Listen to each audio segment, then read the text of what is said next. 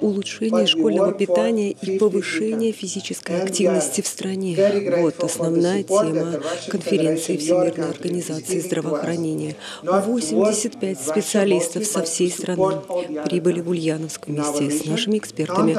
Они изучат питание в детских садах, школах и университетах и при необходимости внесут свои коррективы. Представители Министерства здравоохранения федерального и регионального, ведущие российские и зарубежные эксперты в области питания и физической активности. Двухдневный семинар стал площадкой для обсуждения программ школьного питания и физической активности, способствующих укреплению здоровья, а также вопросов их внедрения в образовательные учреждения. Мы будем а, с вами вместе а, работать над этим, чтобы получить ваш опыт, чтобы а, понять через Министерство здравоохранения Российской Федерации, как Российская Федерация планирует дальше развивать систему здравоохранения, систему общественного здравоохранения.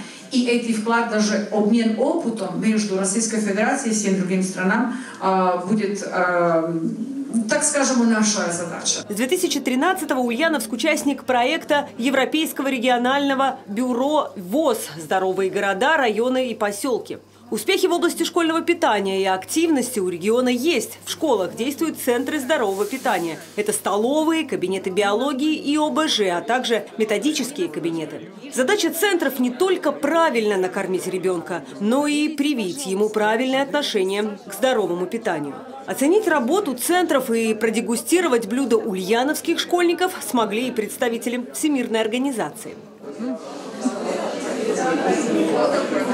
Very good, very good. Статистика, которой мы владеем, показывает, что заболеваемость наших детей э, болезнями желудочно-кишечного тракта, заболеванием эндокринной системы, я имею в виду ожирение, э, медленно, но неуклонно спадает. Приемы пищи в школах делятся не только по возрастным группам, но и по группам здоровья. Завтраки и обеды для учеников младшего класса, для старшеклассников витаминный стол и шведский. В планах на ближайшее будущее персонализированный. Мы будем готовить пищу вот в новом учебном году, пока э, пилотно, а потом, надеюсь, выйдем и в полном объеме.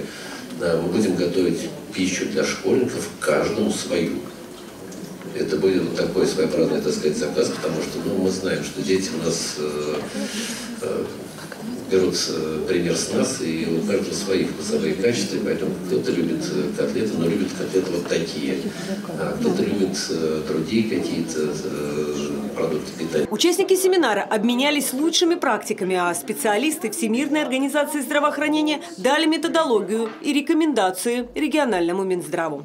Екатерина Терещенко, Алексей Слепченко, репортер 73.